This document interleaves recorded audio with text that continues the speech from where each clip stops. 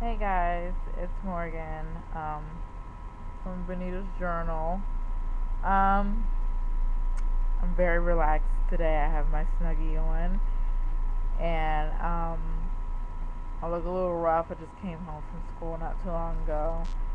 Um, but let me kind of adjust this so you can see me a little better. And the camera's a little off too. I just I'm just using the webcam right now. But um, I want to apologize. I know that I said I was going to come back and do like eyebrow tutorials and stuff like that.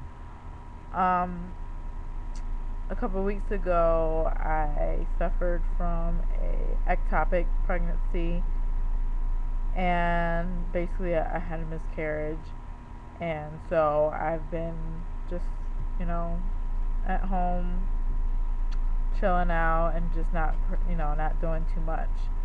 So those who um, asked me to do some stuff i'm sorry i apologize. Um, i'm still not really ready to come back to youtube and just you know do like hair tutorials and you know things of that nature. So um, I'm sorry to ask, you know, you guys to give me a little bit more time. I'm sorry. A lot of people ask me questions about different, uh, you know, reviews about hair and stuff like that.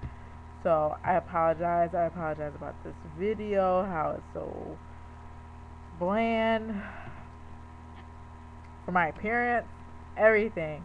But um, I'm coming back soon. I promise. I promise. Please don't be mad.